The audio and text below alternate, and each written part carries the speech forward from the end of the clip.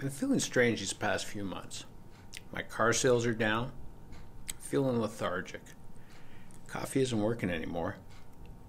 I think I just need a change. I think I'll kill Curtis. I mean, the more I think about it, the more I realize Curtis is the root of all my problems. He's clean, he's young, he's slick, winner of Car Salesman of the Month award five months in a row. I used to be king of this lunchroom. Until Captain Charisma over there dethroned me. Oh my god. I've never killed anyone before. It's crossed my mind a few times. I just need a change. I said, sir, the Dijon yellow brings out all the details in this Hummer. It's the perfect color for this truck. Now, you might be saying, Jack, don't you think murder's a little bit too drastic? And to that, I quote Tony Robbins, who said, Without massive action, there can be no change. and then I said, if you appreciate the power of the Hummer during the test drive, imagine what'll be yours. What I really should have said though was imagine when you have to go fill it up.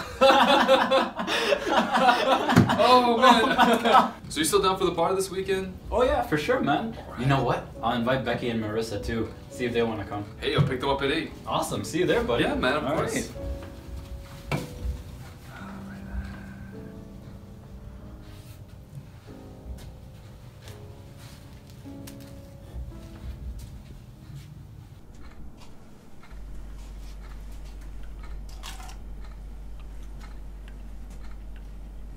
So I overheard you uh, sold the yellow Dijon colored uh, Hummer there. Yeah, can you believe it? No, I can't. Neither can I.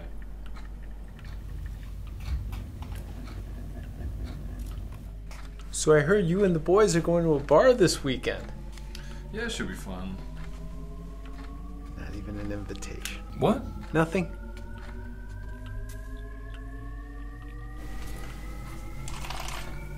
Well, have a good time Where? at the bar. Oh yeah, thanks, thanks. Curtis, line one. Curtis, line one. Well, time to go back selling cars.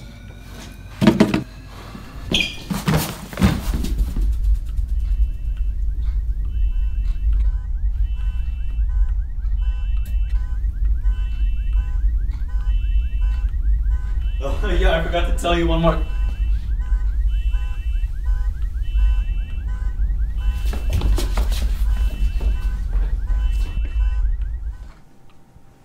Now that's a change.